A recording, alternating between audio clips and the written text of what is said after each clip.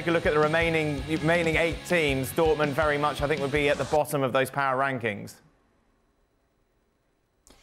Uh, yeah, I'd say so. I, am sorry, I'm still a little shocked that you mentioned sort of Newcastle as the impressive other team in their group, along with Paris Saint Germain. And, and not Milan. Well, I'm just saying, Gab, when the draw, League, I don't example, know why you have to go anti-English on us. I was just saying, when the draw was made and we looked at it, you uh, you wouldn't have had Borussia Dortmund finish top of the group. Well, I do exactly believe I do did. believe Milan were in that group as well. yeah, you wouldn't have had Newcastle either. But um, look, uh, you know, it's ama- it, it, really is amazing coming on the back of the weekend, coming back of of reports of, of, of some of the senior players, um, you know, turning on on Edin Terzic losing losing faith in him. I think that might have impacted some of his team delec- uh, selection as well. Um, that they're able to come together, weather the storm.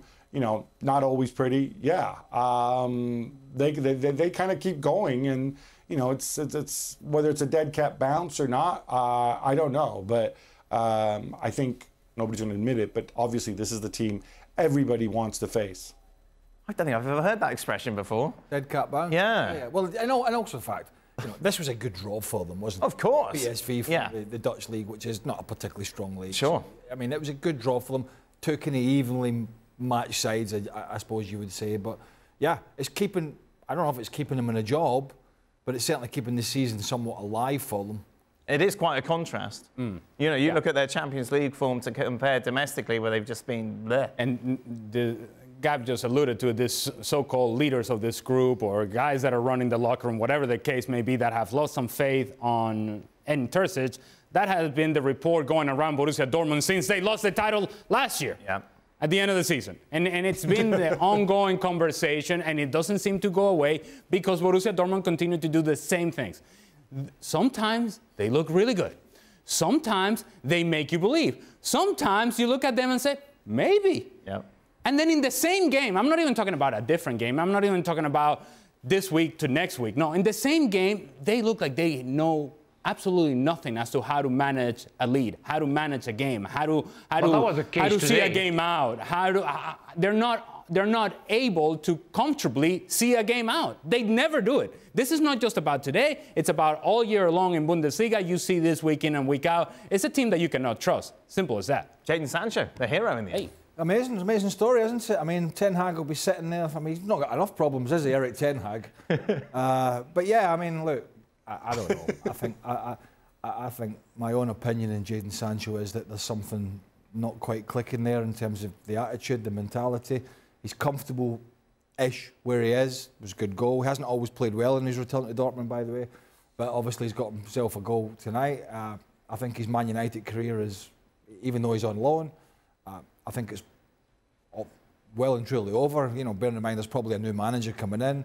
Maybe they'll take him back. I, I, I don't know, but you know, I don't know what else to say about him. He's a well, bit of a well he got injured today, so he's not going to be yeah, much of an issue. I mean, uh, you, we talked about Jadon Sancho when he was making it, and, and it wasn't quite Kylian Mbappe-esque. I was just like, I was at the, I was at the end of my tether, just talking about. Uh, Frank, yeah. What do you want from would, me? What do you want? anything? I, would you like to add? I, I don't know if you saw this game. Yeah, I saw that game, and I, uh, I I'm totally with uh, with Ale on the on Borussia Dortmund. You know, when I see the first half and I see Malen making uh, Dest sufferings that much on the on the side, I say, well, it's going to be a, a tough a tough night for PSV and they turned everything, you know, and they managed tactically to, to play better, and uh, and somebody was helping Dest, and we didn't see Dortmund any, anymore in the second half. And uh, if Jadon Sancho existed a little bit for the first half and scored that goal, that second goal, uh, since he came back to Dortmund, we didn't see him anymore. And he got injured, so I don't know where he's going to come back.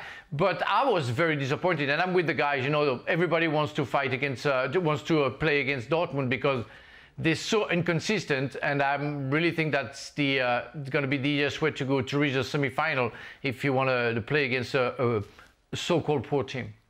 Uh, Borussia Dortmund, of course, yep. meanwhile domestically fighting for a place in the Champions League next season. You can follow their plight between now and the end of the campaign, of course, live on ESPN Plus.